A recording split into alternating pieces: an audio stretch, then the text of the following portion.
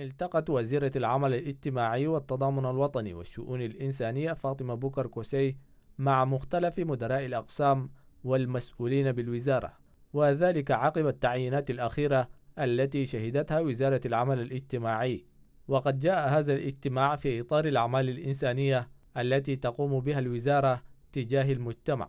وأثناء الاجتماع أشارت الوزيرة إلى أن السلطات التشادية لديها رؤية واضحة لمواجهة الفيضانات خاصة في موسم الخريف والاستجابة للأعمال الإنسانية والوقوف مع المنكوبين واللاجئين الذين استضافتهم البلاد.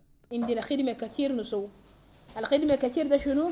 عنينا يعني ال ministère بس تفكر لناس الضعفاء وناس ال réfugiés وال retournés وال déplacés وال communautés hôtes.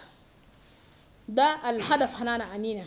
لازم الناس بتكاتفوا بوركو يعني ال vision أنا شايف ده خليه يصير كما ذكرت الوزير المسؤولين على احترام العمل وإعداد التقارير الشهرية من أجل رفع التحديات التي تواجه الوزارة وتقييم المهمة التي أوكلت إليهم خلال الأشهر القادمة.